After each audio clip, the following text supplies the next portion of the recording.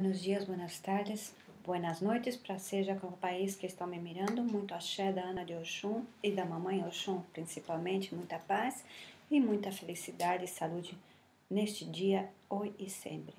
Como vocês estão vendo, é, de vez em quando vou fazendo com a minha cara, mas ainda estou em tratamento com meus olhos e peço realmente que hoje, no dia de Santa Mônica, esse vídeo é especialmente para vocês, mamás, que estão com problemas com os filhos, problemas com o matrimônio, problemas com a família. Então, vamos lá. Você, você pega cinco vasos cristais, cinco vasos virgens, pode ser de pote de maionese, pote de marmelada, se lava bem lavado. Você coloca água neles. Se não tem água do rio nem água bendita, pode usar água do grifo. Cuidado para a água não ser túrbia. A água tem que ser limpa e cristalina cristalina. E nesses cinco vasos você vai pôr ao lado uma flor, uma flor branca, certo? Nesses cinco vasos você vai pedir para cada vaso com essas flores do lado, do lado a flor deitada na mesa, numa mesa, você faz isso com uma vela ou uma de sete dias, ou você pode fazer cinco, conforme as tuas petições para o teu filho, para teu marido, para tua esposa, para o teu matrimônio, para tua família, certo? Então você faça isso e reza-se cinco Padre Nosso, cinco Ave Marias e nove credos e nove salve rainhas para Nossa Senhora Santa Mônica. Hum? Depois você agradece a Mamãe Oxum, recorre tudo, ainda não, deixa tudo preparado até o final da noite. Antes da meia-noite você vai é, colocar isso no jardim. A água você joga no cruzo de quatro, ou no jardim, ou numa planta que você tenha em tua casa. Mas de preferência eu recomendo que vocês realmente joguem.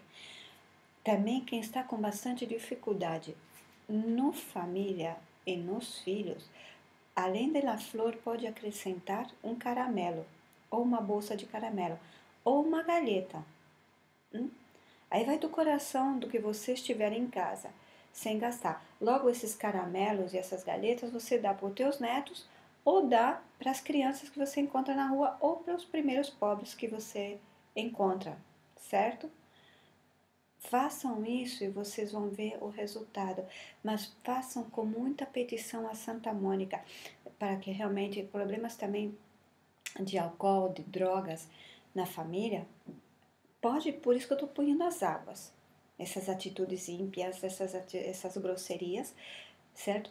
Uma coisa é certa, é, volto a repetir: se você teve problemas no passado e está tendo problemas de encontrar tua felicidade, teu bem-estar, todos temos problemas. É só não mirar para trás e avançar, mas com a verdade e com justiça de Deus, sem fazer dano às pessoas, porque de nada serve fazer esses trabalhos como hoje, hoje tornei a ver, graças a, a Santa Luzia a meus santos, aquilo que eu tenho que ver, eu vejo. Não adianta me tapar a visão, porque enganar-me a mim não me enganam, se enganam a si mesmo, certo? Então veja, jogar o pão no meio da cali, no, no meio da, da no meio certo? Sem mais, sem menos echar é, fez, é, cocô de animais para que dá sorte, isso é perda de dinheiro, perda de saúde, perda de tempo. Gasta a energia.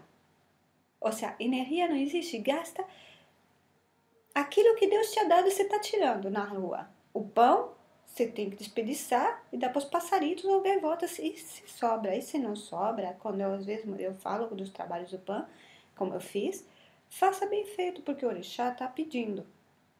Agora, jogar o pano no meio da calhe não tem lógica. Fazer cocô no meio da porta não tem lógica. Né?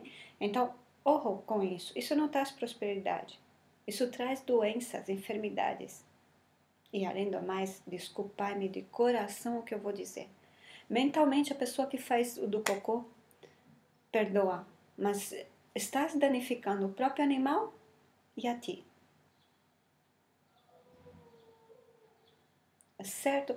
Meus irmãos em axé, em paz, a religião é uma coisa que a gente tem que respeitar, o ser humano tem que respeitar as pessoas.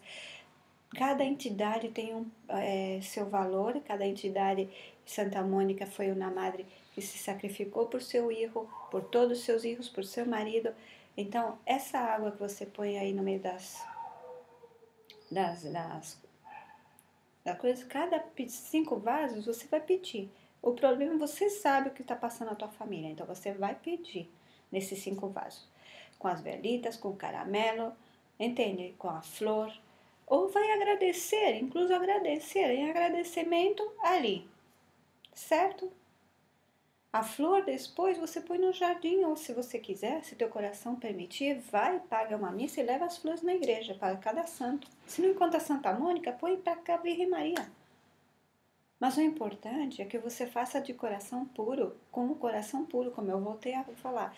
As pessoas que tiveram enfados, estiveram nervosos, estiveram agressivas, encontra a minha, querendo me culpar a mim de coisas, ou culpar a outras espíritas, culpar a, a, a santeiros, ou a babalaus, ou a isso. Não, a culpa teve você. Não, não vamos apunhar as coisas onde não. Porque a mentira no mundo espiritual hein, é grave. É bem forte. Principalmente na minha religião, na nossa na religião que eu levo em cima certo? Eu não sou católica. Sou partidária realmente da verdade. Embora que muita gente me critique, mas a crítica faz crescer. Axé, paz, saúde no dia de Santa Mônica, que ela realmente possa libertar as cadenas com amor, com paz, saúde e felicidade em vossa vida. Mamãe, toma controle de tua filha. Paz, Santa Ana e São Joaquim. Pedi muita orientação a Santa Mônica fazer penitências, fazer sacrifícios. Não levai o nome dos filhos é, para qualquer pessoa, não ponhais ela para qualquer santo. Há obrigações em atendei vossa casa, vossos maridos, vossa família e muita axé. Da Ana e de Oxum. Muitos beijos, muita paz.